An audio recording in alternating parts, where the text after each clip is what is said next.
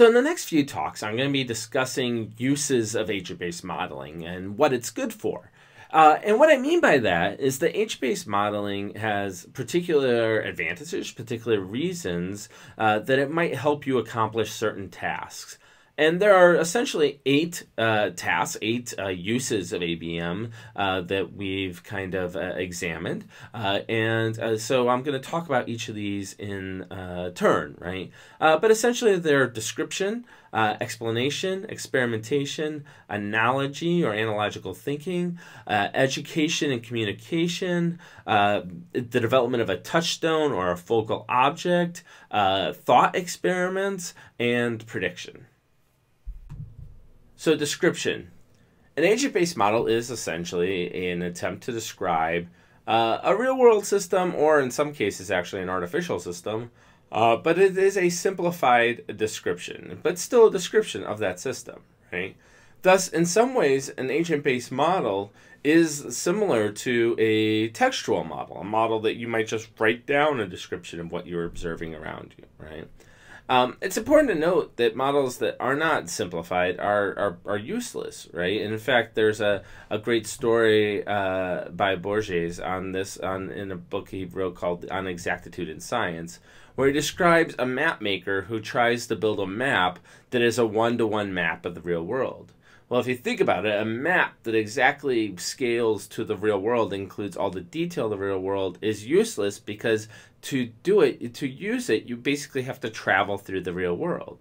Um, so, in this context, right, models that are not simplified, that are not simple representations of the real world, are in fact not very useful for us. Um, and of course, Albert Einstein is often paraphrased as saying, make your model as simple as possible, but no simpler. By the way, that quote is in some ways a model. He never said those exact same words, uh, but he said something very similar several times, as far as we can tell. Um, but that's the basic idea, right? You want to make your models a simple description of real world phenomenon. Agent based models are often used as an explanation of the potential underlying phenomenon that control a, a system. So you can think of them as a proof of concept, right?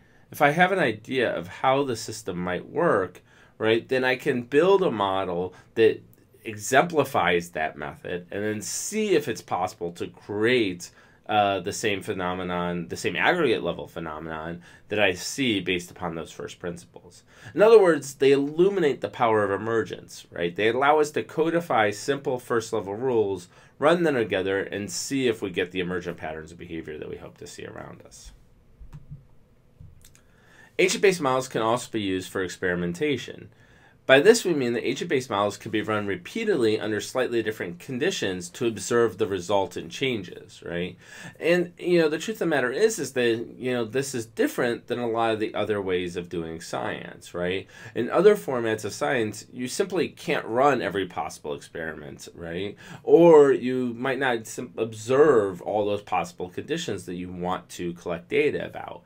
Agent-based models allow you to kind of look through all those cases and see what the results might be as a result. We can then change the model if we want and see what happens next, and then we can eventually maybe observe a set of results that are um, something that we did not observe in real world data, and then we can go back to real world data and attempt to validate those experiments. Finally, we can use agent-based models for analogical thinking. Uh, for instance, imagine the model of flocking birds that we talked about early on. Those that model of flocking birds, even if it was originally used to describe birds flocking, can also help us to understand fish schooling and has been done, looked, used to understand how locusts uh, might swarm in the cases in some cases.